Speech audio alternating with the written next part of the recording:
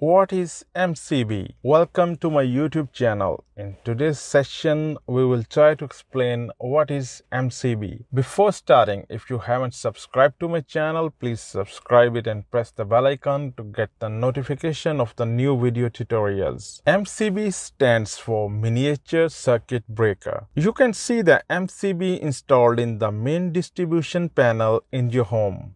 The main power which comes in our house gets distributed to different areas and rooms through these MCBs. If we open the main panel of our house, we will see some circuit breakers installed in this panel. Here you can see that one incoming circuit breaker. The incoming circuit breaker is mostly an earth leakage breaker and rest are MCBs, the miniature circuit breakers which are distributing power to the different rooms of the house. In case of any short circuit, these MCB trips and cut off the electric power. So we can say that MCB is an electrical supply switching and safety device. MCBs have a predefined current limit or current rating. If the current passing through the MCB is more than the current limit of the MCB due to overload or due to short circuit, in this condition the MCB trips and save our appliances and the house wiring and it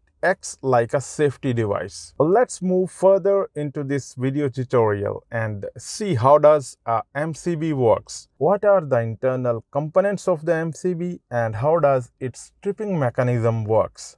If we see the side view of the MCB, there you will see some components. First of all, there are input and output terminals. We will always connect the input phase wire at input terminal and the load is connected at the output terminal. MCBs have a operating handle. We can turn on or turn off the MCB with this operating handle. Next we can see a operating mechanism. When we turn on or off the MCB using operating handle, this mechanism works inside the MCB and MCB turns on or turn off. Next, MCB have two contacts. One is moving and the other one is stationary contact. When we turn on the MCB, this moving contact moves forward and gets in contact with the stationary contact.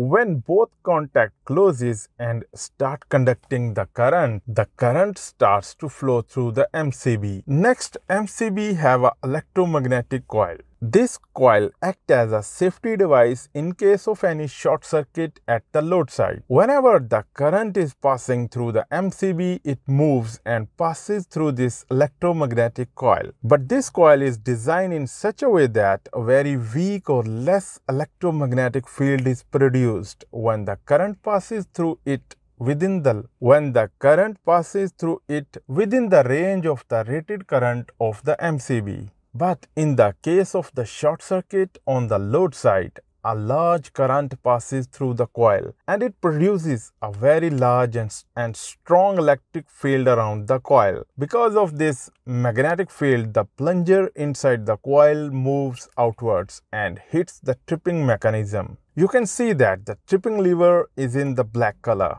Because of this action, the operating mechanism moves backwards and MCB trips and cuts the current path. As you can see that the breaker trips and the contact moves away from each other. At that moment, an electric arc produces between these contacts. This electric arc is very dangerous. Its temperature is very high and it can even melt down the breaker plastic body. There is an arc chamber in the MCB. The job of the arc chamber is to catch the electric arc and dissipate the heat of the electric arc. The electric arc chamber works like a heat sink. The arc chamber is made up of number of metal plates stacked together to absorb the heat of the electric arc. Next, we have a mechanism to trip the MCB in case of the overload current. This mechanism consists of two things. Number one, bimetallic strip and number two is a tripping lever. Bimetallic strip and the tripping lever works together as a overcurrent safety mechanism. When an excessive overload current passes through the bimetallic strip, this bimetallic strip gets heated and start to bend.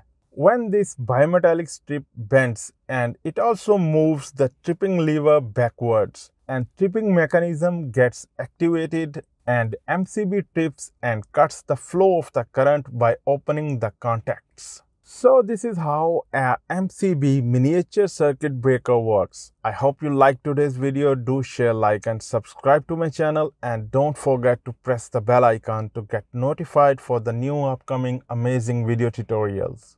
Till next time, take care and goodbye.